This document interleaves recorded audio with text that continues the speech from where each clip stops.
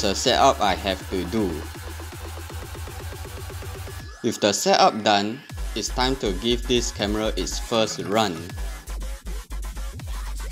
Unfortunately for the first few times, there were some video quality issues, so I went to get some help with the staff. He managed to fix this issue by changing the recording format from AVC HD to XAVC. By watching some of the videos I posted, some of the videos are recorded with my new camera. However, changing to a lower shutter speed, the quality messes up again. I'm not sure why but I hope to get it fixed too.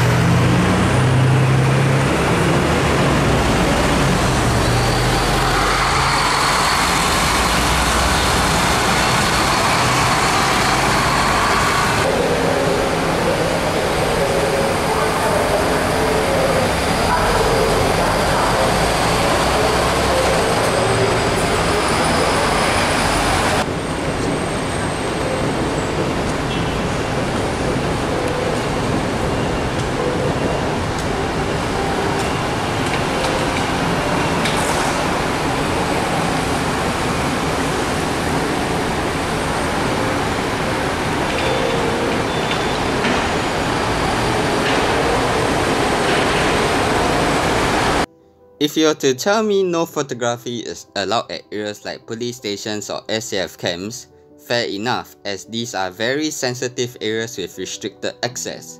But no photography at a place like bus interchange where anyone can freely enter and exit does not make sense and definitely deserves a face palm. for